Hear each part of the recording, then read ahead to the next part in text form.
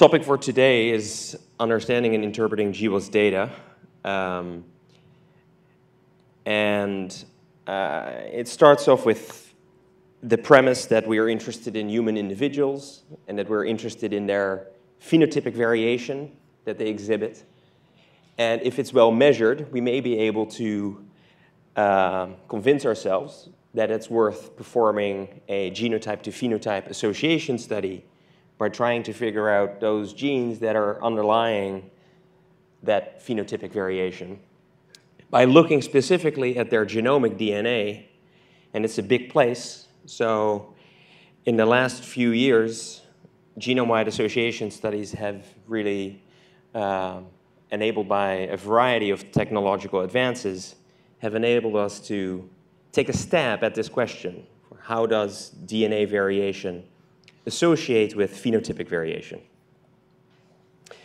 And this is basically a summary of the past four years of genome-wide association studies, starting with uh, an international collaborative initiative known as the HapMap project, the International HapMap project, which documents exactly where are common polymorphisms in the human genome, and in such a way that it tells us something about the correlation structure of those polymorphisms.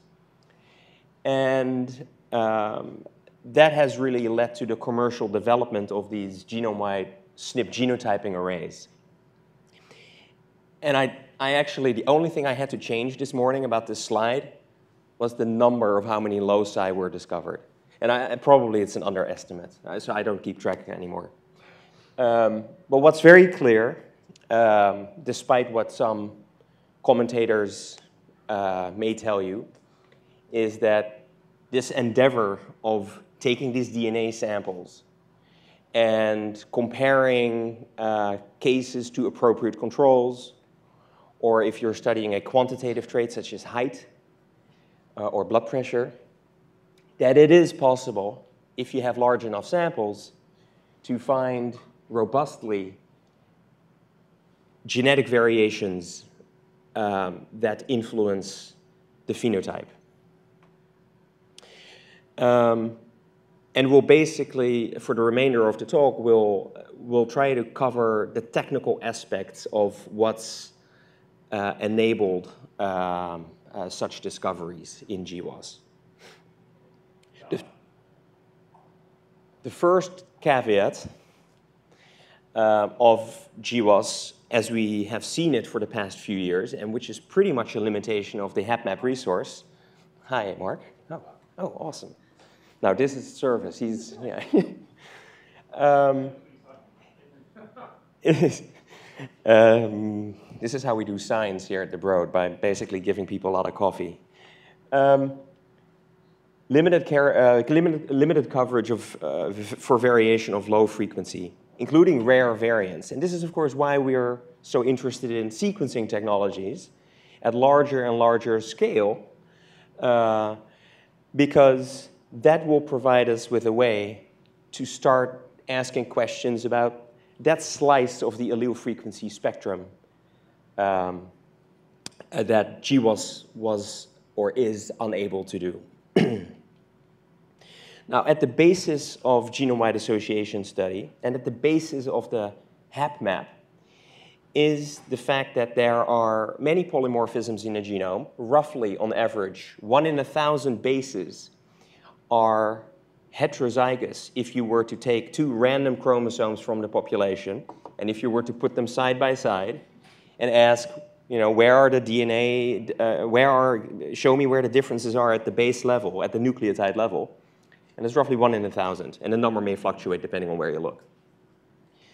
Um, and it turns out that when you look at nearby polymorphisms, and this is a cartoon, is that there's correlation between these polymorphisms. And we've got a word for this. The word is proxy. And so if you genotype one SNP as a marker, it acts as a proxy for other surrounding SNP next to it. Um, and it does, though, it does so, and this correlation structure is basically referred to as linkage disequilibrium or allelic association. And it's this very phenomenon of linkage disequilibrium in the human genome that enables us to do these genome-wide association studies by relatively efficiently picking markers uh, as a function of what the linkage disequilibrium structure is now that we have HapMap, right? So there was basically one large activity that showed us this is the correlation structure and this is, you know, and if you pick them, if you pick the markers carefully, um, I can be very efficient about my ge uh, genome-wide association study, and this is exactly why uh, this effort has been so successful. Absolutely. So you're using the common SNP terminology? Yeah. I think I understand what that means, but can you unpack that a little bit in terms of what SNPs were actually captured on the original chips, from what populations, and what that allows you to detect, and what that doesn't allow you to detect until our new, the new studies come out? Um, well, there's a couple of things. I think the most uh, uh, um, well, a very relevant uh, um, consideration is one of allele frequency. You know, right now we are sitting here with hundreds of people, and uh, if I were to, uh, you know, make build a bigger lecture theater and pack thousands of people in there, I would be able to find those polymorphic sites that vary at lower frequency, uh, just because I was able to look at more people. So I think we now make a distinction, now that we are so focused on sequencing technologies, we're making a distinction between SNPs of high frequency, and I think what most people uh, tend to think of is a, an arbitrary cutoff of, of 5% or greater. And uh, one of the, actually a very simple reason for that is take HapMap, take one of the populations that was uh, represented in HapMap, uh, the Ceph, the Utah residents with Northern Western European ancestry, uh, sampled by the Ceph. Ceph is a French institution. Um, and they had collected 30 trios in HapMap. So 30 trios, so you've got mom, dad, and offspring, 30, so each person has two chromosomes because we're diploid organisms. So this means that you have 120 unrelated chromosomes of European descent. Now, if you have 120 things of something, it probably means that those things that, uh, that occur at 5% or greater, you've probably sampled them quite well. And you know, we can numerically test, it. we know this. And of course, stuff that doesn't happen so frequently is not going to be covered so well. So here's a very simple mathematical explanation why, you know, why there are limitations to HapMap and why there are limitations to the commercial platforms that have been developed based on HapMap. So that's a frequency answer to your question. Um, uh, how they, how they, uh, how Illumina and Affymetrix then selected markers specifically will depend on the platform that we are considering. But for, for example, a very early generation platform, the Illumina Human Hap 300, had 317,000. I think they rounded it down. I don't, I mean, if you're a real marketeer, you round it up. But uh, so 317,000 markers based on the LD structure in the Ceph. It turns out that LD structure, there's more correlation in European population than in the African population. So they felt that why not first build a platform that gives good coverage in European population. Um, uh, and that, of course, really fed into a frenzy of all sorts of disease, uh, uh, disease genetic studies uh, of European cohorts. I hope I answered your question. Um, and really, once you, so here is a cartoon again of a region in the genome, and the vertical tick marks are SNPs that have been genotyped in your sample of cases and controls. And really, what all we're doing in a GWAS is at every such genotyped SNP, we're asking, is there a significant allele frequency difference of the SNP, so for the two alleles, in this particular case, an A and a G, between cases and controls. Of course, things will randomly fluctuate, but then, you won't, it, then it won't be significantly different.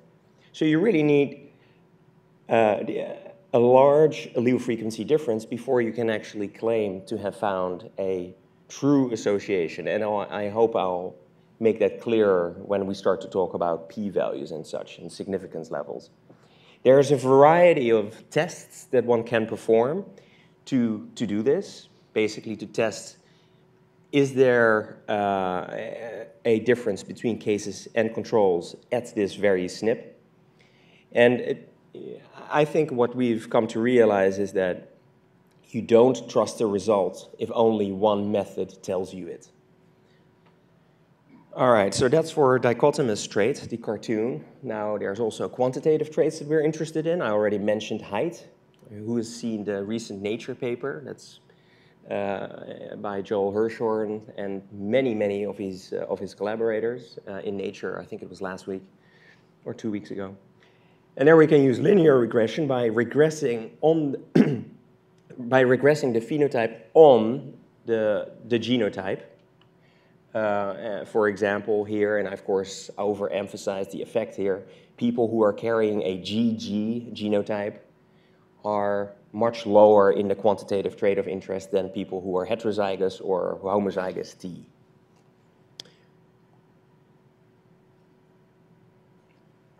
Now, because we are only genotyping 317,000 markers on the Human Hap, you know, 300, to refer back to, uh, to the good old days, this is only three years ago, so um, what we're banking on is not so much that the genotyped marker is the disease variant and all biology will basically explain itself. No, we're not, not, not, so, uh, not so lucky. What's going on is that because of LD, the existence of linkage disequilibrium, the existence of correlation between variable sites in the human genome, we're banking on the fact that the genotype marker sees the association through linkage disequilibrium at the, a nearby causal site that of course we don't know about. In many cases, it might not even be on HapMap, and we're going to have to do resequencing and fine mapping to figure out exactly where the signal is coming from. This is really the obstacle where people are now. You know, with all the GWAS, with all the more than 1,000 loci having been discovered, with complex traits and common diseases, we are trying to find out what those causal variants are. That's basically, I could wrap it up here and say that that's the problem today. but this gives you an understanding of what's happening with LD. If, there, if the R squared, which is a quantitative measure for the linkage disequilibrium between the causal variant here in this picture and the genotype marker, if it's low, you're never going to be able to find a significant allele frequency difference between your cases and controls. Uh, and therefore, you know, you may miss this causal variant. So immediately, this, uh, uh, this brings forward the notion that the power to make discoveries of these genomic loci that are underlying the trait of interest is a function of how well we are, you know, SNP genotyping across the region. Ideally, you would have sequence information, right? Because then you could just test every base in the genome, and and that's exactly what you know uh, what people are thinking of now. Is like how we could treat such a data set, how what we could do. That's very, so that in that aspect, it's, uh, GWAS is fundamentally different from if you had complete sequence information. of course, linkage disequilibrium doesn't go away, that, that, that stays. All right, so I already mentioned power. So what are the determinants of statistical power to make a discovery? There's a couple of uh, parameters that are important. Some are fixed by nature, some of them we can work on, and I've summarized them here. And the equation on the bottom is something that, depending on your caffeine level, you may ignore or not. Uh, the things that are fixed by nature are how strong is the effect? If I have the allele, by, you know, what's, by how much does it increase the likelihood that this person or that I will develop the disease? That's the effect size. Uh, you can express it as the beta coefficient if you're doing regression modeling, or relative risk or odds ratio. You know, if you're you know, if you're familiar with the general two by two table uh, for association. Um, but that's of course fixed by nature. We we have absolutely no. We can make assumptions about that, but we don't control it. Same for the frequency of the causal variant. We don't know that ahead of time. And there's this whole debate of, you know, is it all common variants? Is it all rare variants? Is it something in the middle? Probably is something in the middle. That it's a, it's a mixture of a lot of things.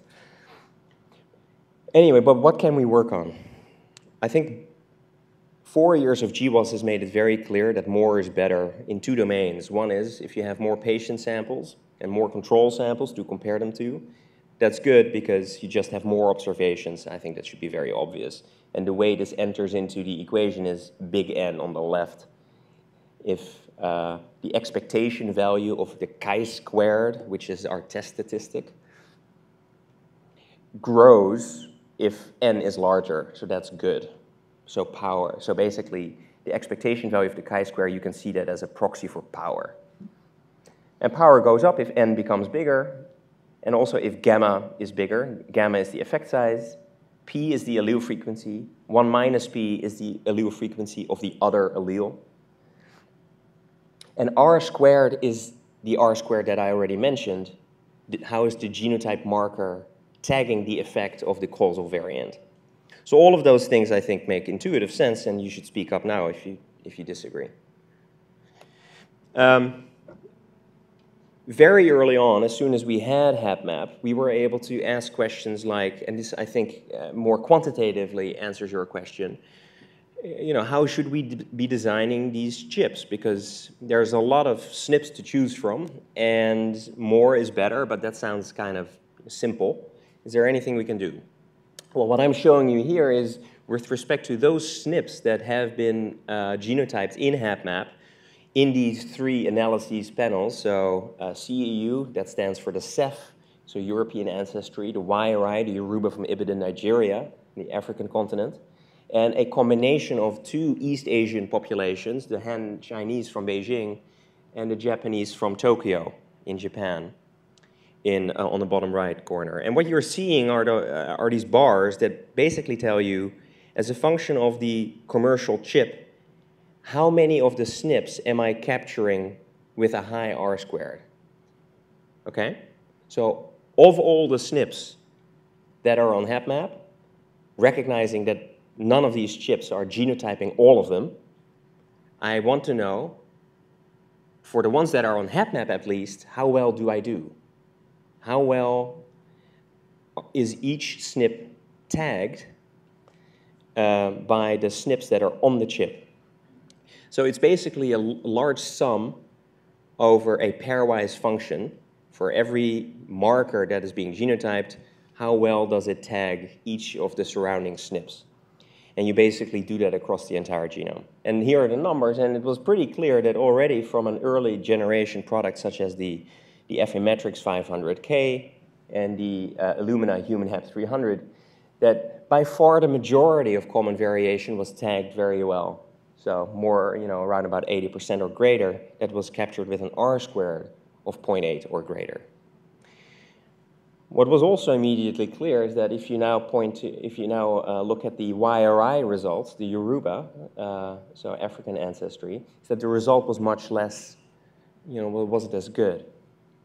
And I think here it's also uh, nice to reconcile the fact that the HumanHap 300 was specifically designed with respect to the CEU data, whereas, and it really does markedly worse than the Affymetrix 500K, whereas in Europeans it's sort of comparable, right? So you can clear it. So that, I, I, guess it makes sense that, the, of course, this is not, you know, necessarily a good thing, but this is how they were designed at the time, and it. Uh, and it was just a, very, sort of a semi-quantitative way to figure out, you know, how are, do we feel confident enough that if there are common variants and if they do play a role in complex traits, that we can perform these association studies in a, in a robust way without missing too much of the genome. And the answer to that is we feel pretty confident that we can. Now, it's a very different picture for the not so common variants. And I'm not even going to talk about rare variants that only unique people carry or that only pr are present in uh, specific pedigrees that will, that will need sequencing for. But we can say something about you know, those polymorphisms that happen to uh, be in HapMap that had a slightly lower frequency than the 5% that I just mentioned and that, as that arbitrary cutoff for what's common and what's not.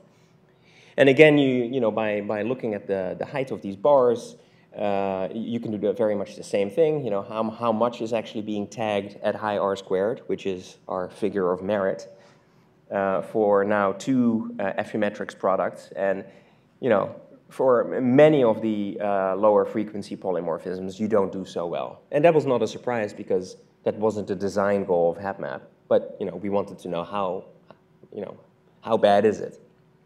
So it was pretty bad, and this is why, um, you know, we're now not talking about HapMap anymore because that's dumped on a website somewhere, and we're interested in 1,000 genomes because we want to, you know, look at more people. This is where 1,000 genomes, due to its success, has already become a misnomer because many more than 1,000 are actually being characterized uh, in this effort. So that's all very encouraging. Now, coverage of these chips does not measure power. What do I mean by that? Even if um, you know, you were to whisper into my ear that the causal SNP that you know, functionally at the biological level is influencing disease risk is on the chip, even if it is, right? Um, that, that still doesn't guarantee that I have, that I will make the discovery. Uh, very simply because of those other parameters in that equation. The, the R squared may be one, and that's the highest it can be, but you know, that doesn't mean that I'll actually see it with genome-wide significance, which is uh, what I'll cover in a, in a slide or two. So that's what I just wanted to, uh, to highlight. Now, I think this slide is becoming, uh, I, usually when I show this slide, I sort of apologetically say that, oh, this is an old slide and I should really update it. But I actually become, I've become more, you know, the more we do complex trait genetics, the more I appreciate that in 2005 they had to make, uh, and this was, this was of course pre-GWAS era, they had to make a table, and this is from Nature Reviews Genetics, and they make those, you know, they do them for you, you should know. And so, you know, I, I can see the debate that they were having. This, this is from a paper by John Todd and David Clayton and colleagues. And it's now so painfully obvious that on the y-axis that the numbers really don't reach into the thousands that we are now have become uh, used to. Uh, a, good example is that Nature paper of height as a phenotype, uh, where you know more than 100,000 samples were needed to elucidate, you know, what is it, more than 100 loci, uh, I think, which is an incredible result. But it goes to show that you know our what perhaps would have been our earlier estimates or assumptions of what the effect sizes we may be able to find in the genome, that they really don't exist. It's much more modest effect sizes that, uh, that are now coming out of these GWAS efforts. Um, but it shows you also intuitively that here as a function of the frequency of the disease allele and a function of the presumed effect size, the odds ratio here, going from 1.2, relatively modest, to 2.0, relatively strong, uh, that you, know, you vary the sample size required to reach uh, something like genome-wide significance. All right, so this is all the theory behind it, and I'll stop there. Um, uh, not with the talk, but the theory part of the talk. How are we going to genotype? Well, we have covered the various chips, so they differ in their various, uh, in their SNP content and density, and of course, uh, you'll, uh, some of you may know that the later generation um, gene chips contained uh, also probes for uh, copy number variation, and that's been, that's been very uh, insightful as well, because it would be wrong to give the impression that SNPs is the only relevant type of uh, genetic variation that, uh, that we should be studying. That's obviously not true. It's just that it's a very simple type of variation that we can study, and it, it happens to account for most of the variation in the genome. I think that's a fair statement still. Um, now, with a lot of experience uh, in you know, genotyping these SNPs, the problem of calling genotypes um, has not actually gone away, certainly not for lower frequency variations or even rare variants. And uh, here on the top right corner is just an illustration of you know, what, what might lead you astray uh, in the context of structural variation. So on the x and the y axis is the intensity of the probe that, that, that tags the C allele for a given SNP. And on the y axis is the A allele for a given SNP. And so you nicely have those three genotype clusters, AA, AC, and CC. Well, what about the C hemizygote? You know, that would really fall in intensity on the y-axis um, because there's no A to be detected. And this person would have, so every dot is an individual, and this person would have a single C, so it would be roughly on the same level as the AC heterozygote. But how do we deal with this properly in a, you know, in a systematic way? And this is actually still sort of an unsolved problem, uh, mostly because these measurements, uh, they do suffer from noise. Um, and uh, especially for low frequency uh, polymorphisms, you just have very few observations. So how do you know something is real or when something is just noise and should have been clustered in, in those nice three AAACCC um, you know, blobs.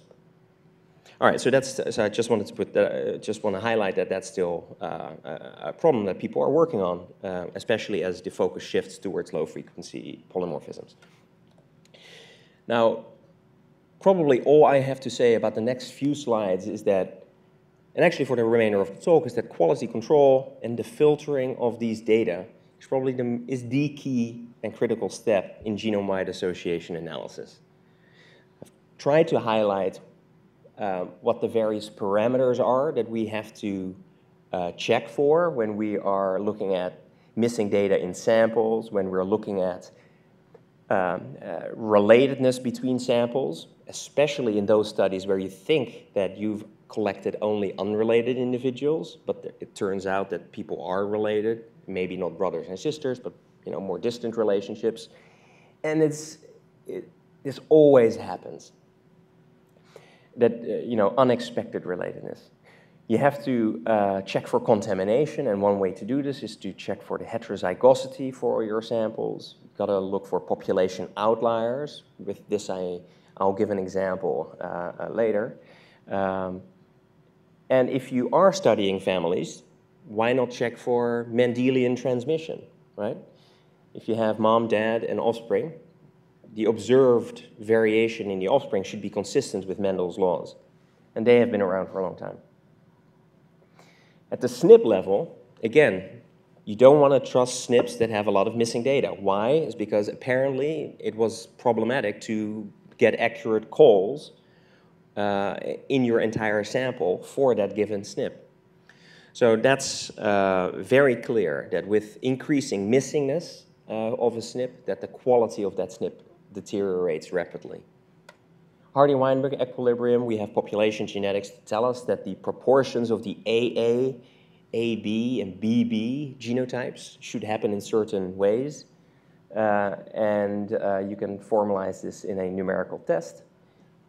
When you're doing a case control study, you want to make sure that that missingness between cases and controls is not, you know, is not very different. Um, and, and you can again check for Mendel errors and uh, you know for how uh, consistent the observed allele is with respect to the haplotype background. That's actually a test that's bec has become a little bit less used now. Was uh, all of these things are, by the way, in in, in Plink, a tool that Shaun Purcell developed uh, quite a few years ago now, and that many people have used for GWAS analysis. Now, this is a very old slide from one of the earliest, uh, if not the earliest, GWAS performed here at the Broad uh, in a type 2 diabetes um, uh, uh, project where we had used the Affymetrix gene chip 500K that you'd already seen on those HapMap slides. And you basically see, I won't go through them all, but basically you see here that you know, it's important as the analyst to keep track of you know, what are you filtering away and why, and what are the thresholds used, and at the end of it, you're hoping to arrive at a very clean set of SNPs that you can then test for association, something that I'd already conceptualized earlier. Okay, so I think um, the title of this talk is the interpretation, or this is understanding and interpreting GWAS data, and uh, it, it, can either mean that you either that you have to do it yourself. So maybe this will help you do your own GWAS. And can I have a show of hands of people who have done GWAS analysis? Okay, a couple of hands, that's good. Um, uh, but it could also be, the question can also be, the title can also be interpreted to mean, you know, what, how should I read a GWAS paper? How can I, you know, what critical eye should I develop to judge whether a paper is a load of rubbish or not?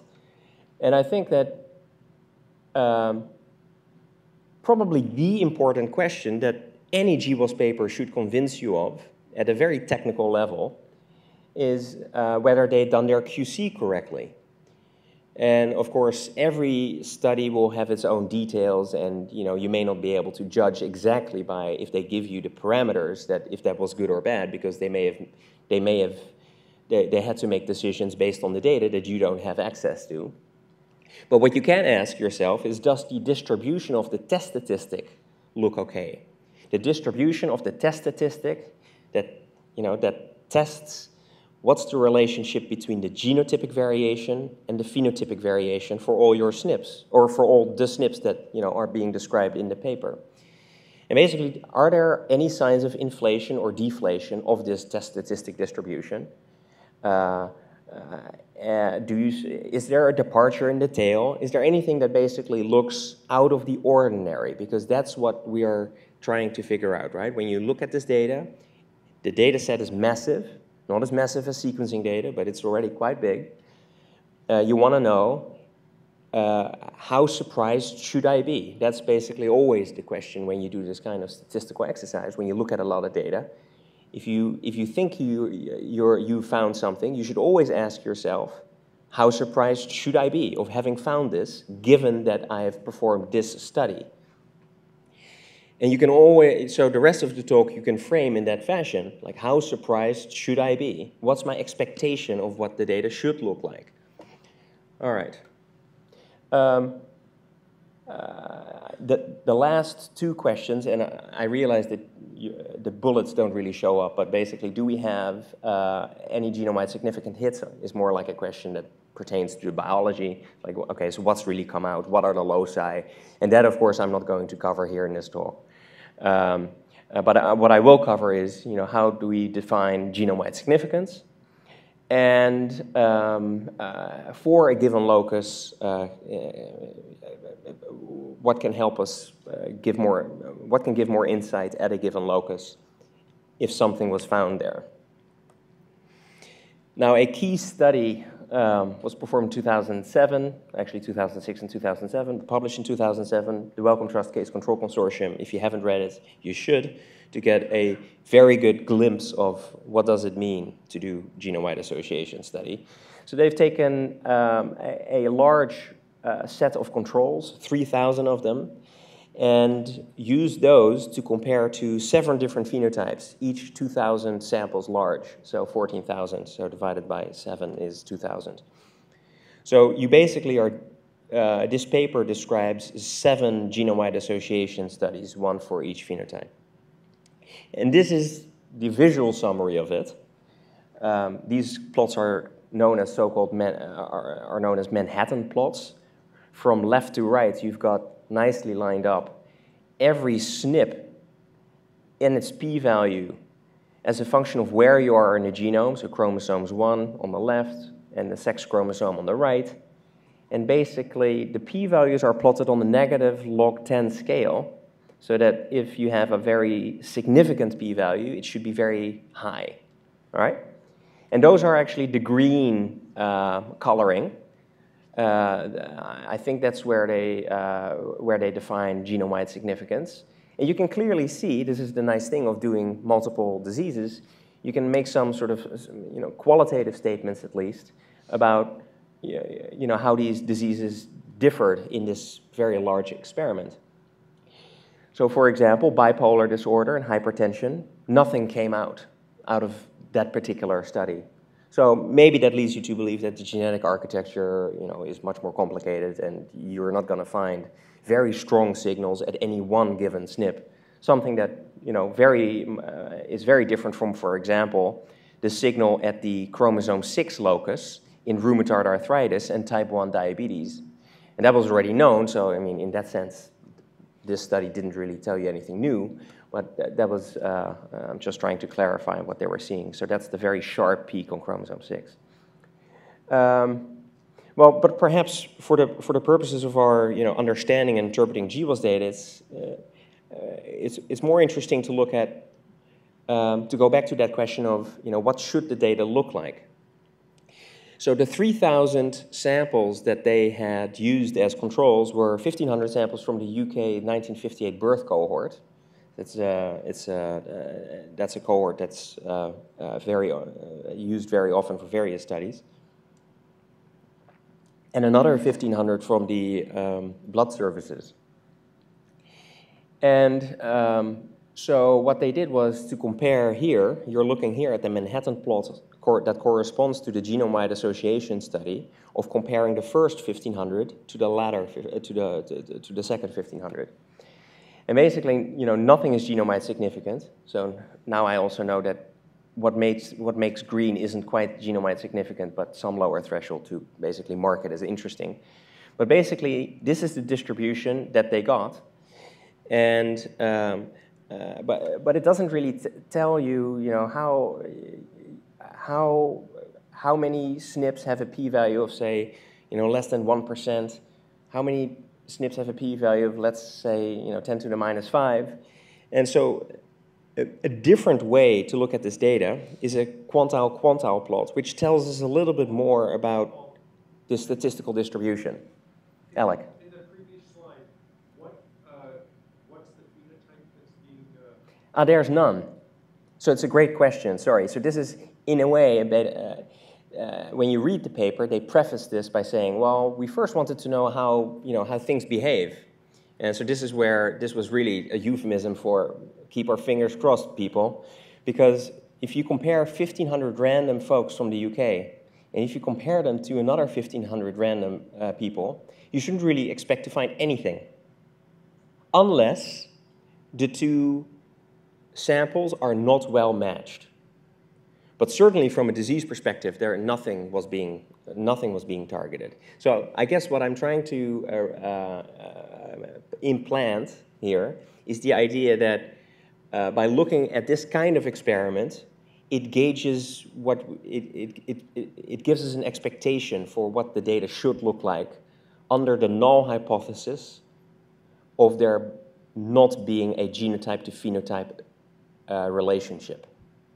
Does that make sense? So it's basically uh, a very expensive way, I'm just, that's, I'm just kidding, to, to, to, to teach us statistics of what should the distribution look like for 500,000 SNPs. And after QC, it's like 370,000 SNPs.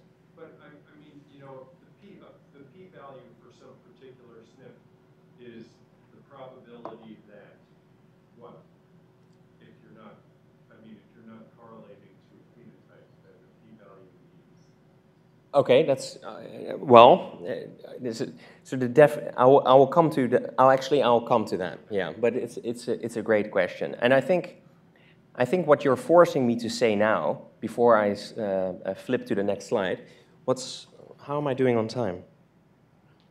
Oh, I'm doing good. Okay. Um, what's uh, I want to know, and I don't have a pointer here, but the, you know, on chromosome 2, you've got the green dot there, right? I want to know, how, how surprised should I be? I said that before. You know, that's the question you should always ask. For any one of these SNPs, you should ask yourself, how surprised should I be for that particular SNP? Like, oh my gosh, let's write a Nature paper, or maybe not, all right? And I, I guess what a quantile-quantile plot will tell you, and this is why I think this is a key tool, so this is a very important slide in this talk. Uh, the quantile-quantile plot gives us insight as to whether the distribution across the genome deviates from what I, what I expect uh, uh, uh under a theoretical null model.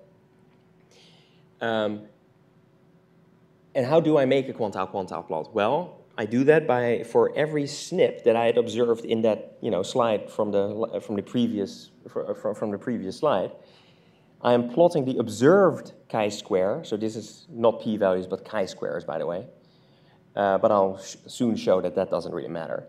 Um, you're plotting the observed chi-square as a function of what I expect under a theoretical one degree of freedom chi-square distribution, and we have and we know what that looks like. Okay? So what this means, the fact that it, all the SNPs line up on a perfect diagonal, that means that no SNP I should be surprised about, right? Because they're, they're all, as you know, in bulk, the entire distribution is behaving according to the theoretical null distribution of a one degree freedom chi-square, where every SNP was basically tested for association to case control, but haha, we know that it wasn't a real case control study. It was a control control study. So this is so this is great, and of course this was the moment where Peter Donnelly, you know, phew, we, you know, we are able to, we can nail this. Um, now let's go uh, into the, your, because thanks for bringing it up, Alec, the definition of a p-value. Under the null hypothesis of no association between genotype and phenotype, right? Nothing to do with disease. This is the distribution of p-values that you should expect. It's uniform between 0 and 1. I mean, you know, so, any, first of all, this means that anybody who writes a paper with p-values greater than 1 or less than 0, toss it out. I have seen it happen, by the way. I'm not kidding. No, I'm, I, I have. All right. Um, okay, so it's a uniform distribution, and what, it, what this means as a consequence is that if I am performing 500,000 tests, you know, I expect half of them to fall on the left of 0.5. And if I carry out, uh, oh, sorry, if I performed 1 million tests, 500,000 of them under the null should have a p-value of less than 0.5. 50,000 should have less than 0.05, et cetera, et cetera, et cetera. So that's just linear, right? You can just cut it across. So now I'm showing you a QQ plot, but slightly different scales because we now go back to our familiar p-values. You're plotting, again, the observed uh, negative log 10 p-value as a function of what you expect under the null. And we know what that is because I just showed you what that is. It should be uniform. So um, it should be the diagonal, and here I'm showing you data from our type 2 diabetes GWAS in 2007, and it nicely you know, lies on the diagonal. And you hear me saying nicely, it's like, yeah, but that's consistent with the null hypothesis. So, you know, how good is that? Aren't we interested in genotype-phenotype associations?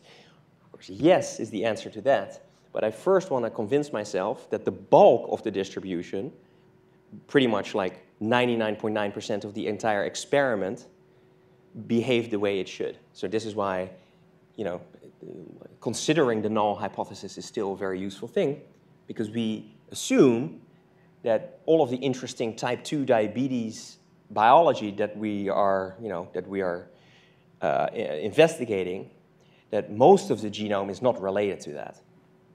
And therefore, it's interesting to look at the bulk of the distribution, or the bulk of the SNPs of the, that are being genotyped and tested for association. All right, so how can you rule out potential sources of bias or error? Well, first you want to convince yourself, I mentioned this before, is that if you get a result with one method, you should always test it with another method. And what we did for that type 2 diabetes project was we took two uh, methods, one Plink, the other one is Eigenstrat, and we basically asked, are they giving the same p-values? And we get a nice correlation, uh, 95% that tells us that basically whatever p-value we're computing is it's robust uh, against the method, and there wasn't some software bug, you know, that we had to chase Shaun for, or Alkes for that matter. Um, I gotta remind myself that these things are being taped, but anyway, um, I, I, think everything I said is, is, uh, is, is, fine. Um, uh, genotyping quality. Uh, well, this was pretty much early days. I think we're much more confident now that the genotypes, the calls that are coming out of, you know, uh, of these chips, uh, that we are, we tend to believe it much more readily right now. But you know, early stage in the game of GWAS, we wanted to convince ourselves that those 114 SNPs um, uh, that we saw in the GWAS we had to technically validate them to convince ourselves that they would actually give us the same p-value or that the genotypes would be uh, similar, and they were. The overall concordance was 99.5%. So this basically tells us that that's sort of the limit of uh, the accuracy of these GWAS platforms or Sequenom. You know, and, and actually HapMap has shown very similar numbers. It should be it should be north of 99%, but it isn't 100%. You will always, if you look at enough SNPs, you will always find some discordant calls uh, between platforms and methods. And, you know, uh, this is actually also the reason why studying rare variation is such a hard problem because if I'm interested in a 0.1% variant, you know, how do I do that. I don't know. We are, we're not talking about sequencing, but I just want to, you know, implant again yet another thought that, you know, these methods aren't perfect, and therefore you gotta consider the errors that occur in the data. Um, I'll just skip this.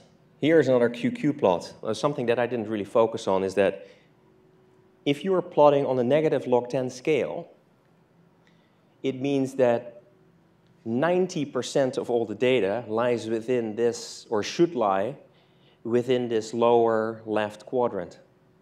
99% should lie within this lower left quadrant intersected by the 2, 2.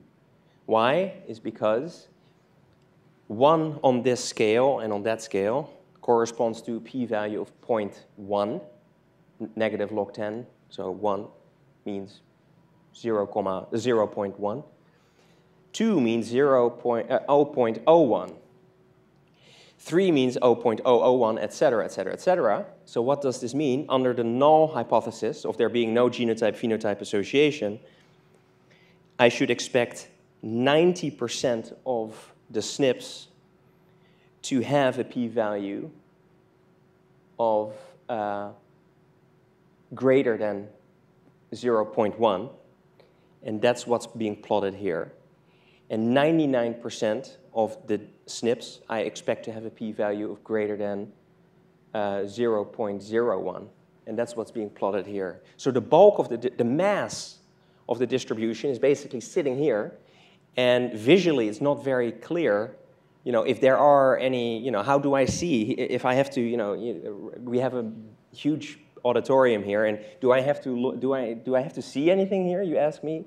Well, you don't ask me, but I'm asking myself, and it's like, no, you don't have to, because the, the way we're plotting this puts much more emphasis on what's happening in the tail of the distribution, because we, because that tells us, you know, where, you know, because that's where the interesting biological action is. If you have a genome-wide significant hit, it will be in the tail of the di uh, distribution with very low p-values, and therefore marching towards the, the upper right corner of the QQ plot. Um, so what can we do about the bulk of the distribution? And this is where the, uh, the genomic inflation factor comes in. So for each paper that you are now reading, you're able to understand its QQ plot and able to judge whether something looks good. But I haven't really given you the, the tool to figure out, you know, but what about the bulk of the distribution? And this is what the lambda does, the genomic inflation factor. The lambda is defined as the observed median of the test statistic, so that comes from your data, chi-squares, for example.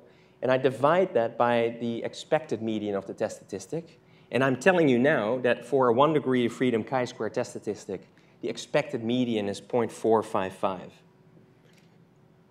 So, um, uh, so, so, basically it gives you a relative measure, this lambda, gives you a relative measure for how the entire bulk of the distribution because we're looking at the median, is either inflated, greater than 1, or deflated, less than 1.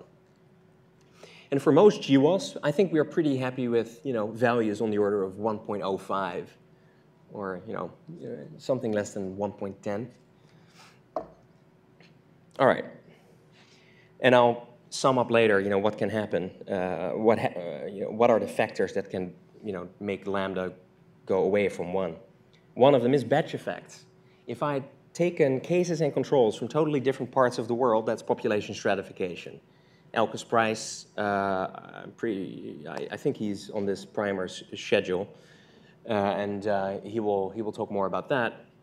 Uh, but what about technical batch effects? What if, I, if, what if I take cases and I genotype them in the winter here at the Broad, and then I wait six months, uh, hire a couple of new people, and then do genotype all the controls in the summer?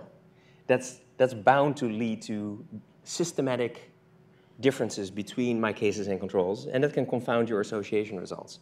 Because remember, for genetic association studies, you're looking for anything that's different be, uh, at the genotype level between cases and controls. So you got to make sure that you're treating your cases and controls, uh, you know, as, as, similarly as possible.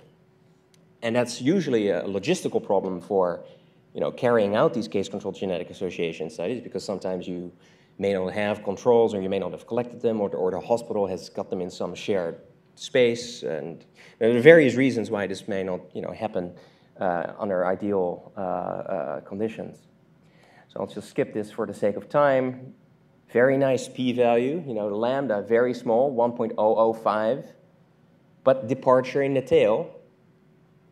Okay, so is that good or bad? Well, uh, if you look at the, the, the loci uh, that come out, they're all genome-wide significance, and once you condition on them, uh, the QQ plot drops down to the diagonal. So that basically got the, the stamp of the seal of approval. Here's a study not so good because you've got very early departure. Uh, you know, the, in the bulk of the distribution, it already goes away from the diagonal. And also, when you actually compute lambda, it's pretty high, 1.14. All right, so what, what can cause this? What can cause lambda to deviate from the null? Inflation, lambda greater than 1. That's actually the most common thing that can happen. Um, conceptually, what it means is because when you're doing a chi-square uh, test between cases and controls, anything that induced a difference between cases and controls will make the chi-square look more significant because, hey, they are different and you did something differently to them. So, you know, anything that uh, where you're uh, where there are differences between the cases and controls can lead to inflation. So the chi-square will become, will become bigger than what you would expect under the theoretical null. Population structure, I had already uh, alluded to. Relatedness, if I'm simply taking, you know, duplicating people by perhaps pipetting badly, um, this can happen. Uh, again, we talked about the winter and the summer of the cases and the controls, or perhaps my cases are all from the 1960s, and my controls I've collected fresh last week. That's also bad because it means that probably the, the quality of the DNA of the cases is much, much worse than for the controls. So, and that leads to this idea of differential missingness. This is why you should test for that. All right. Uh, case in point, when we uh, took a, an interesting case sample, the phenotype doesn't matter here, and a control sample ascertained and genotyped independently, uh, but from the same country. We basically found this QQ plot, a lambda of 1.4, and a SNP as the top signal at genome-wide significance, 2 times 10 to the minus 9, which is basically eye color. It's the causal variant for eye color, so hugely uh, uh, has been subject to population, population differentiation hugely and the a classic demonstration of population stratification, which I'll uh, not go into any further. Um, last thing I'll, I'll mention is you know, the fact that we are testing multiple hypotheses in the genome. So where should we draw the cutoff?